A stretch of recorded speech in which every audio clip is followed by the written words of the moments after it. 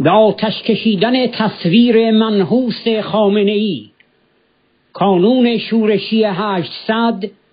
جمعه 11 مهر ماه 99